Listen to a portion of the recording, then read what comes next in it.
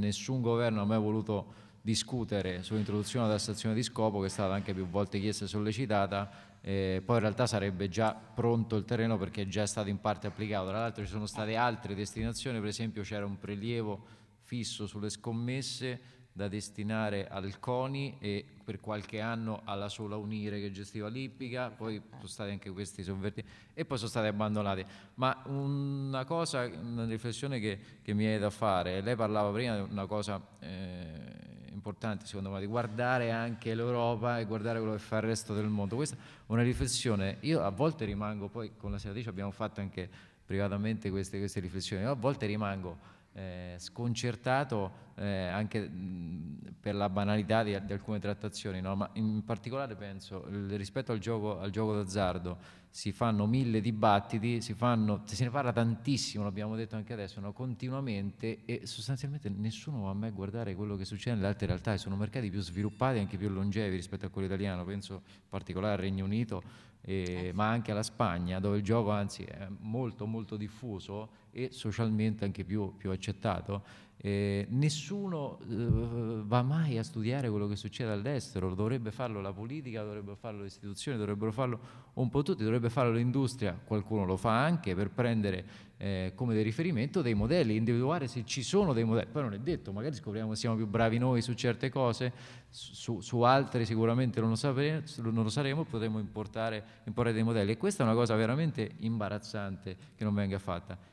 In, in, particolare penso rispetto alla tassazione, io mi viene in mente, non mi voglio stare ad annoiare, ma secondo me è abbastanza interessante la riforma che fece Blair eh, rispetto a, al gioco pubblico, e tra l'altro l'ha messa anche nella sua biografia come uno dei, dei fiori all'occhiello dei suoi interventi. Tra l'altro è stato interessante perché lui quello che ha riformato semplicemente di fatto è la percezione del gioco eh, rispetto ai cittadini britannici, lui cosa ha fatto? Ha creato il meccanismo che hanno chiamato delle good causes, le buone cause, che è esattamente la tassa di scopo. Io l'ho scritto su vari editoriali qualche anno fa, non so se ricordate, ma mh, quando c'è stata la mh, eh, vittoria, cos'era? Una serie di medaglie all'ultima Olimpiade, adesso non ricordo, vado un po' a memoria, però praticamente è stato esaltato eh, il modello dello sport eh, britannico e della straordinaria politica del Regno Unito ehm, perché c'è un prelievo diretto che praticamente la parte dei fondi di gioco, adesso non ricordo la percentuale esatta, ma viene destinata, è una delle good causes, altre sono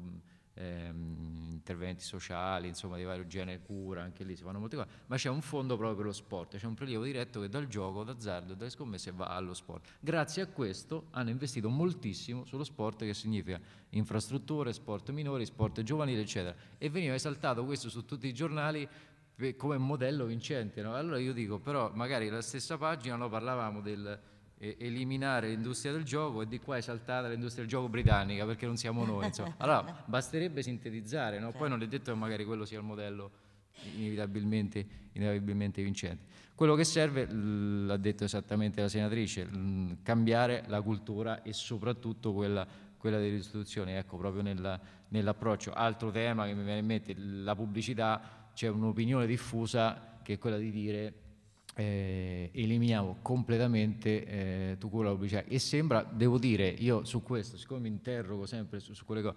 eh, appare anche ragionevole, cioè a prima vista lo dice, beh, vietiamo la pubblicità, uno pensa sempre a fare riferimento al tabacco, eh, il tabacco è vietato, non si può fare più, vietiamo completamente la pubblicità su ogni mezzo, su ogni strumento. Poi però in realtà scopriamo, c'è una raccomandazione dell'Unione Europea, tra l'altro datata 2014, quindi inizia anche a essere bella vecchiotta, è stato fatto uno studio a livello internazionale e cosa è emerso? È emerso che la raccomandazione dell'Unione Europea dice attenzione perché la pubblicità non serve solo a promuovere e incentivare il gioco, ma serve anche e soprattutto a distinguere l'offerta di gioco legale e gioco illegale. E questa è una cosa fondamentale in un settore come quello italiano in cui l'illegalità è, ai noi, ancora oggi diffusissima. Allora pensate, eh, ci sono centri, in particolare questo fenomeno mh, ehm, riguarda il mercato delle scommesse, ci sono oggi, per vari motivi che non sto qui a raccontare, ma in virtù di normative europee, contenziose, eccetera, operatori che operano eh, senza titolo o, o centri che aprono proprio completamente illegalmente, sul territorio. Ecco, se noi pensiamo di evitare completamente la pubblicità, se io per dire vado ad aprire una sala di scommesse, io concessionario legale, non posso neanche fare la pubblicità per dire sto aprendo, e poi vicino a me apre uno che è illegale, praticamente abbiamo equiparato semplicemente con il, divieto assoluto di pubblicità, abbiamo equiparato, praticamente andiamo a equiparare offerta legale, non permette di distinguere offerta legale e legale, mentre oggi se non altro, se non altro l'operatore illegale non può fare pubblicità perché non avrebbe accesso non essendo provvisto di, di, concessione. Quindi anche qui qual è la soluzione migliore? Io non ho la pretesa di darla io, però io dico riflettiamoci e proviamo, e proviamo, a sintetizzarla. Quindi la chiave della collaborazione credo che, che sia sicuramente, sicuramente vincente. Oh, volevo eh, tornare un attimo col professore e poi prendiamo qualche domanda, se siete d'accordo. Eh, lei prima parlava dell'esperienza di, di Ortos ehm, in, in Toscana che mi sembra eh, un'esperienza, l'ho detto lei, sicuramente positiva, ci ha dato, ci ha dato anche i numeri. Tra l'altro quello è un progetto eh, finanziato dalla regione no? con, con, soldi pubblici, quindi anche qui è un altro esempio di un'altra, eh, un'altra buona pratica che abbiamo fatto, un'altra eh, esperienza concreta, insomma, quindi anche lì qualcosa, qualcosa si può fare e dei modelli ci sono, ma secondo lei ad oggi, tanto per essere concreto, no, visto che lanciamo una cosa, cosa, di cosa ci sarebbe davvero bisogno, almeno quali sono le priorità per provare a, a, a riformare il gioco. Tra l'altro mi, mi, veniva da ridere prima eh, quando lei parlava giustamente di, una creazione di un testo unico, di una legge quadro sul gioco, mi veniva da ridere perché ehm, ricordo che forse è stato uno dei miei primi editoriali, era il 2009 su questa rivista perché si parlava della necessità di una legge quadro sul gioco e c'era la promessa del governo di allora di fare un testo unico sul gioco. Oggi siamo nel 2014, se non sbaglio, la legge delega approvata in Parlamento delegava il governo a dire facciamo una legge quadro sul gioco e siamo oggi, nel 2018, a chiedere ancora la legge, la legge quadro. Comunque, se mai ci arriveremo, secondo Vabbè, lei... Almeno, almeno, la mia leggina, piccolina. sono d'accordo. Quali sono secondo lei le priorità? Grazie, io ho tre punti.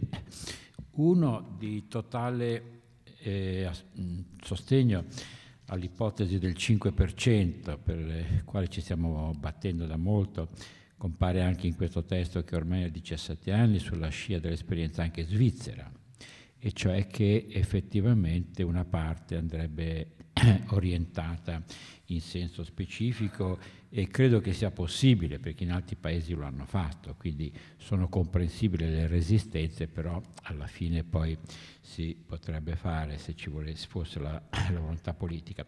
Il secondo punto, sul tema dei trattamenti, io penso che le dipendenze comportamentali, che non sono solo il gioco, ma per esempio la net addiction, la dipendenza da da social, da smartphone, sono un'emergenza ehm, che non può essere certo affrontata con i mezzi tradizionali delle comunità terapeutiche o solo a livello ambulatoriale. E anche in questo caso noi abbiamo programmato, come anche altri, delle, per esempio delle settimane bit free, no? da proporre nelle scuole, oltre alla settimana bianca da lasciare.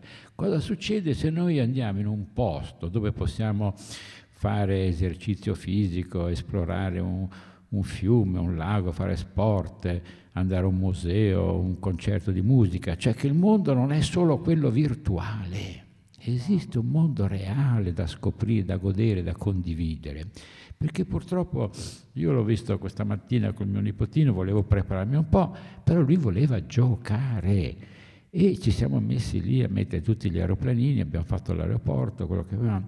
Cioè i bambini hanno bisogno di interazione, di scoprire, di condividere. È troppo comodo mettergli il televisore a vedere quegli cartoons idioti e noi stiamo distruggendo lo psichismo di generazioni, di nuove generazioni che diventano dipendenti da questo flusso di immagini che poi li, li, li ipnotizzano. Eh, però Bisogna attivare una cultura del gioco, del gioco sociale, partecipativo, creativo e che serve, aiuta a crescere.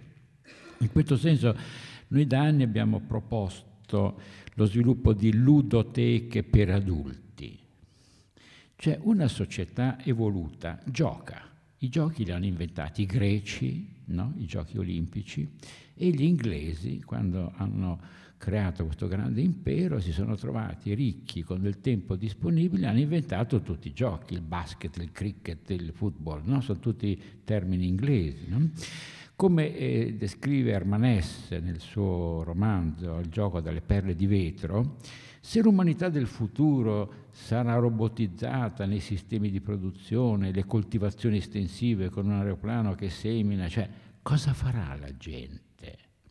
No? L'ozium avrà del tempo a disposizione sempre di più perché non diventi il padre dei vizi, deve, dobbiamo creare delle occasioni di gioco. Quindi la mia proposta anche all'industria del gioco che sia un gioco che si trasforma, che evolve, che crea degli spazi in cui poter giocare evolutivamente. Sono stato l'altro giorno alla Bicocca Village, no? cioè, anche lì uno si perde fra tante cose. No?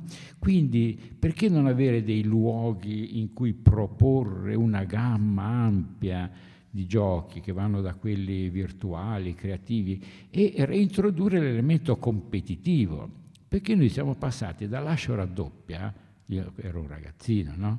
In cui si presentava quello che era esperto di storia, di politica, di sport, a Affari tuoi, che è semplicemente il pacco 7 o il pacco dell'Umbria, che è un gioco idiota e, e che ha dominato la, gli orari di massima affluenza per, non so, per dieci anni, creando una mentalità del gioco d'azzardo, cioè che la mia vita è condizionata, ah, penso che sì, il pacco numero 8, che è azzardo puro, cioè non c'è nessuna bravura, nessuna logica, nessuna costruttività. Quindi creare una cultura del gioco. Esiste qualche esperienza, io anni fa ho visto la Casa dei Giochi, era una vecchia scuola elementare chiusa, gestita da una cooperativa e aveva giochi sociali, da scacchi al Monopoli, e adesso ce ne sono di più evoluti. No? Un luogo quindi dove le persone sole, anche gli extracomunitari o persone pensionati, no? possano passare delle ore, c'era la cooperativa che gestiva il bar, e eh, potendo un, un, luogo di socializzazione, di incontro, di scambio, anche dove creare cultura multietnica, cioè, eh, no?